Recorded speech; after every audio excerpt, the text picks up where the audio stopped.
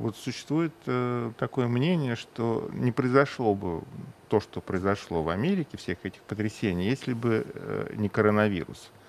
Ваши комментарии. Ну, коронавирус, он э, делает людей чуть-чуть сумасшедшими. Это, конечно, так. Коронавирус не только в Америке. Заставляет, да, заставляет людей сидеть дома, и дома сидеть не любит.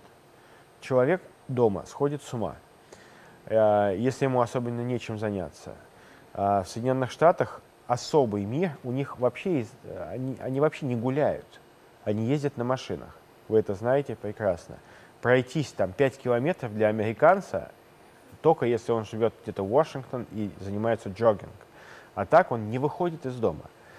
Кроме как на машине. Если на машине нельзя ездить, все, он сходит с ума. Он сидит перед телевизором, смотрит шоу. И, конечно, для него это сложный, э, сложный этап, хотя бы потому, что ребята, которые вот сейчас являются этими соплеменниками Флойда, они же ничего не делают, они тусуются на улицах, ходят, грабят там, тусуются, что-то жрут, что-то пьют, танцуют э, на окраинах. Им было очень тяжело. Поэтому это еще и протест очень удачно э, подобранный на фоне пандемии. Интересно, а для наших тоже тяжело, на ваш взгляд, дома сидеть? А русский человек другой. Э, видите, мы же мы не такие. Мы пытаемся слизнуть. Вы не берите Москву в расчет. В Москве был очень серьезный карантин, но москвичи это приняли, мне кажется.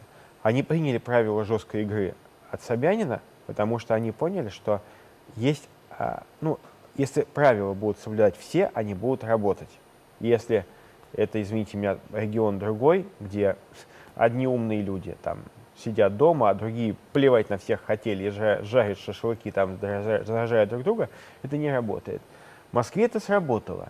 И в Москве э, э, статистика поползла вниз, по-моему, первой по всей, из всей России. Поэтому правила хороши. Конечно, все смеялись, конечно, там и Галкин выступал и так далее. Но, что парадоксально, эти жесточайшие ограничения не уронили рейтинг власти в Москве. И я смело могу сказать, что, конечно, там были недовольны, но в целом э, все понимали, что это надо делать. А в другой в России-то такого не было. На улице, где-то на дачах, там, понимаете, у россиян есть 6 соток, ну все на даче пораньше выехали. Магазины стройтоваров ломились от посетителей, все хотели что-то прикрутить у себя на шести сотках, на своем дачном участке какую-то новую досочку. Это хорошо было для россиян, а, такое во время передышки. Единственный облом, который действительно для нас является жесточайшим обломом, это отсутствие отпуска. Россия в этом плане должна, ну, наверное, завоевать какую-нибудь маленькую страну с большим побережьем.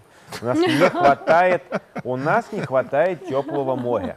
Это объективный факт. Поэтому те, кто плюются и говорят, что нельзя ездить за границу отдыхать, а куда ездить отдыхать? У нас Черноморское побережье и Крым вот такие малюсенькие по сравнению с огромной Россией. Они не могут вместить в себя всех людей. Поэтому люди вынуждены ездить.